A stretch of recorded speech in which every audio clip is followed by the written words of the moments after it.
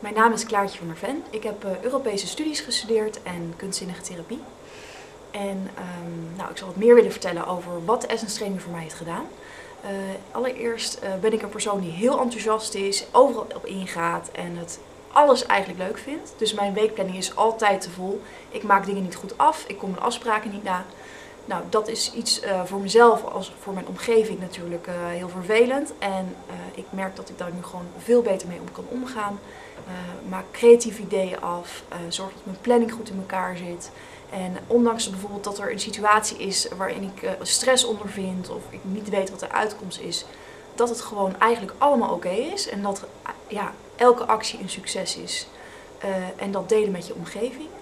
Uh, verder, wat ik nog ook heel erg mooi vind, het mooie inzicht is dat er in het hier en nu alles is.